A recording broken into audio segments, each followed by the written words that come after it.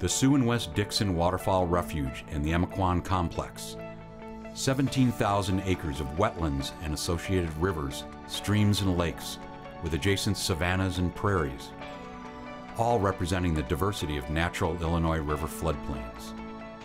Thanks to the collaborative efforts of the Fish and Wildlife Service, the Nature Conservancy, the Wetlands Initiative, and their many partners, this mosaic of habitat thrives once again. Well, when you look at the landscape behind me, it's difficult to imagine how much has changed over time. If I could take you back thousands of years ago to when people first occupied this landscape, they would have seen a scene much like we see behind us. These broad wetland areas would be areas that people would take advantage of for food, uh, materials for other basic needs like shelter and so on. And in time, this became a cultivated landscape, cut off from the river to promote cultivation and protect the crops. This was the first major transformation to the landscape, where once there were wetlands, now there were row crop fields. After the Nature Conservancy purchased the property, row crop was discontinued and the process of restoration began. In the end, if we brought the ancient people back to this place and they stood on this hill overlooking Emiquon, they would recognize the place immediately. At one time, these sites were known for their fishing and waterfowl hunting, contributing to the Illinois River as the most productive inland commercial fish and mussel harvests in the United States. In 1936, the Fish and Wildlife Service acquired Chautauqua Refuge primarily to restore and manage the area as a sanctuary and breeding ground for migratory birds. We're better able to manage the water levels now. We can create mud flats that are important for shorebirds and we're able to encourage the growth of both submerged aquatic and moist soil vegetation, which is important for waterfowl. After success at Chautauqua, the Wetlands Initiative began restoration of the Dixon Waterfowl Refuge in 2001, and in 2007, the Nature Conservancy began work at the Emiquon Preserves. These collaborative restoration efforts have brought water back to lands that have been drained for nearly a century. With the water came the native plants, and with the native plants came the fish and waterfowl.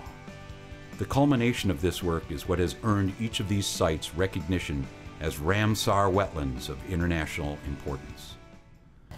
To date, only 34 sites in the United States have achieved this impressive designation, and this is the first time that two sites have been consecutively designated on one river system, the Illinois.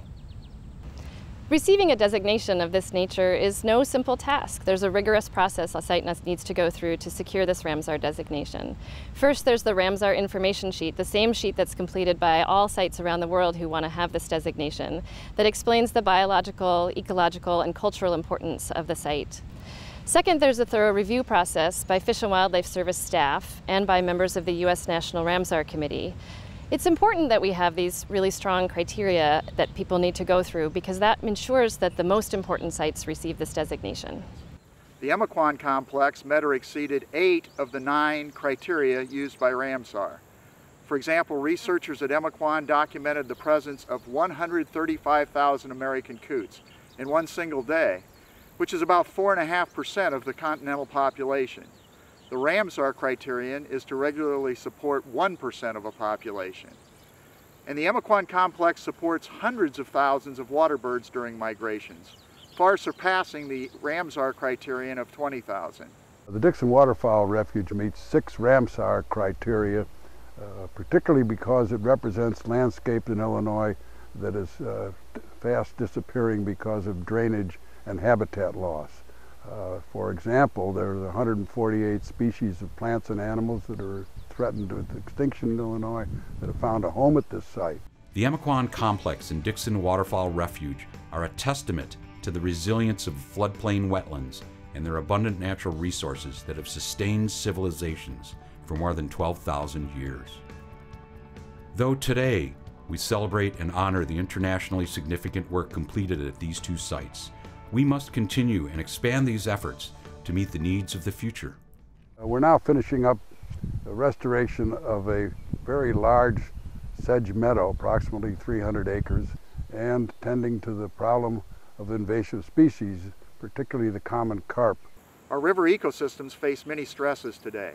Among them invasive species, altered hydrology, and poor water quality including heavy sediment loads. The Nature Conservancy with our partners is doing research and monitoring at Emiquon that is developing and testing effective restoration and management strategies. These strategies can then be shared with other land managers and policymakers, helping to ensure the ecological health of other great rivers around the world and the diversity and abundance of plants, animals, and people that depend on these river systems. Wetland systems such as Dixon and Emiquon provide the recipe for a more sustainable future, one that yields clean water, flood protection, and economic development. This is a recipe we cannot afford to keep a secret. Continuing and expanding these efforts will ensure we meet the needs of nature and people now and for future generations.